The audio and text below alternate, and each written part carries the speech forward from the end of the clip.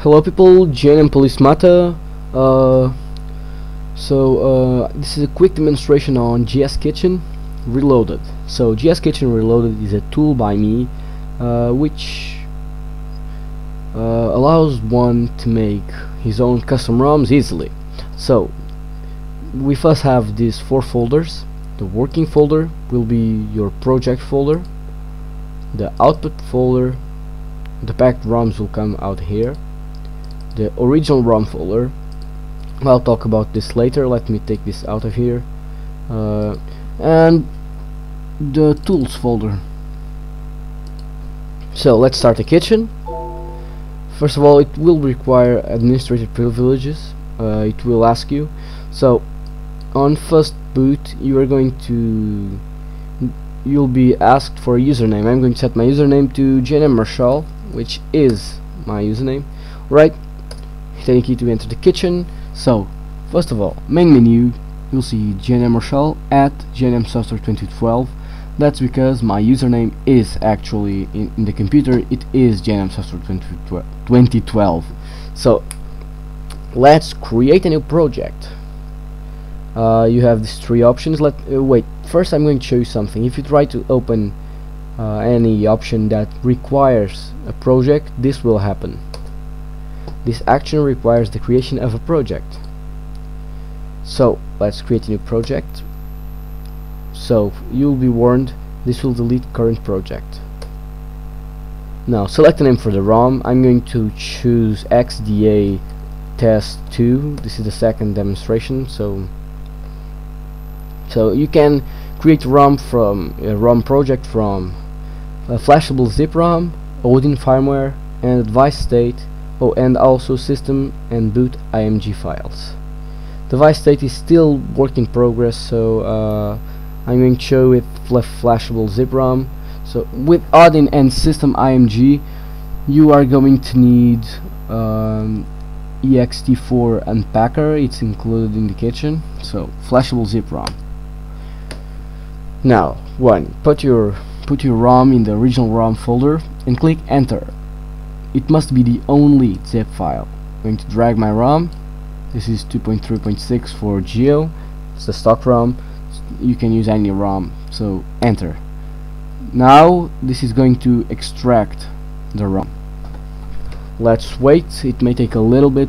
Uh, meanwhile if the microphone has any noise it's this is a cheap microphone I bought it today. Uh, it's not the best nor one of the best. Probably one of the worst but uh, wherever whatever.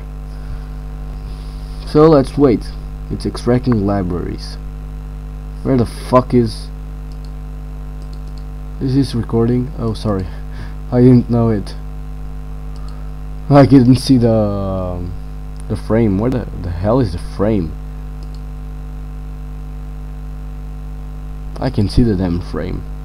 Meanwhile, alright, ROM extracted. Let's go back. Now we can enter ROM settings. You'll see check ROM settings, change ROM displayed name, incremental version, build date, and Wi-Fi scan interval. So I'm going to change the ROM displayed name to XDA test XDA test ROM this utility also backs up build.prop you can see that the latest build.prop is here build.prop.backup at the config folder that is created by the project. Now I'm going to change the the your we are going to check inside the working folder. We got system. Now I'm going to open this with notepad. So notepad build.prop prop. I don't want to use Notepad++ at the moment. So XDA test ROM is here, in here. If I install this ROM to my Samsung Galaxy Gio, this this will appear would appear in the on the setting menu.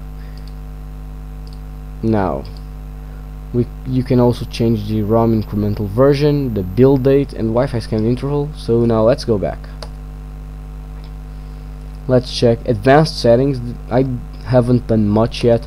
Advanced settings has currently only ROM porting options. Uh, now new folders would will be created ROM to port and base ROM. You put your base ROM here like if you're going to make a if you want to port a ROM to the Galaxy Gio from Galaxy Ace uh, and the ROM is based on AOSP 4.2 for Galaxy Ace then you need AOSP 4.2 for Galaxy Gio and uh, you put it in base ROM. The AOSP based Gio ROM is base ROM and the other ROM based on AOSP is here ROM to port. Then you just start it and it will automatically port. So this was it. I haven't done much yet yet this is all already over 500 lines of batch. This is a simple batch script. Uh, so I'm going to continue programming this. I hope I release it soon.